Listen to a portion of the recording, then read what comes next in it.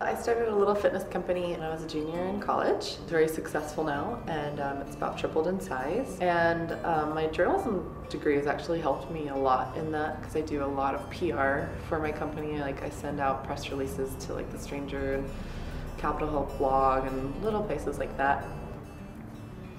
I think it's absolutely amazingly important for students to travel travel abroad. Um, it helps out a ton when you're dealing with other people as far as dealing with different cultures. Like I've traveled quite a bit and um, I know how to kind of adapt myself to other cultures, but when you're working in a pro professional capacity um, in your travels, it's a little bit different because you're trying to get information out of people, you're trying to um, make people trust you. And so you're having to work with them on a different kind of level. Um, and I think that that helps anybody in any career do anything.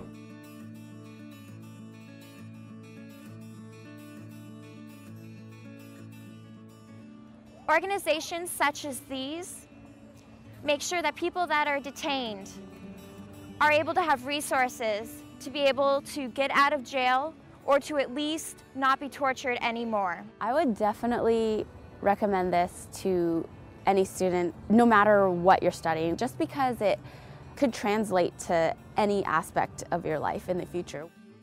And our state recently passed a bill to restructure the 520 bridge at a cost of $3.9 billion. A lot of students, I think, from my experience, just hearing other students talk, they think that, oh, it's so scary and I would never take that class. And I was actually one of those students freshman year when I came here and saw the people in the class talking on Red Square. I'd be like, no way, I would never ever do that.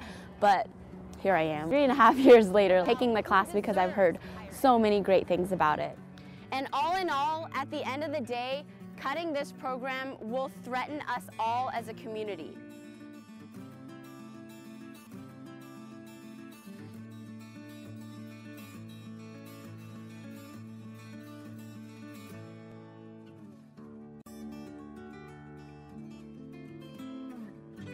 The program over the years, uh, I counted up to four Pulitzer Prize winners.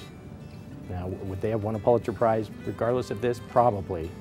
But it was just the way of selecting out the students who really took it seriously, who wanted to do hard news and who wanted to do uh, government and politics and all those things.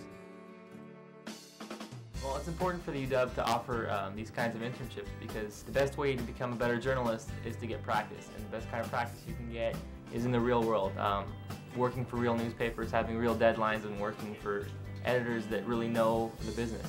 A lot of people have told me that um, you know once you can cover politics, you can cover anything. Being down here in Olympia, I think, uh, really uh, kind of gets me a step ahead. These programs are so meaningful.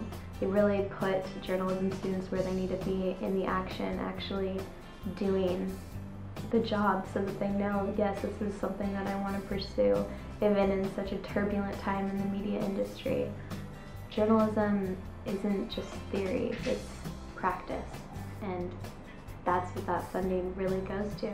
If we didn't have these kinds of scholarships and opportunities for students like these, then what you'd be doing is denying the world uh, good stories, but more importantly, you'd be denying an ambitious uh, reporter the opportunity to really show his or her stuff, to really shine. So if you don't have a program like this, then it's devastating in the long term to journalism.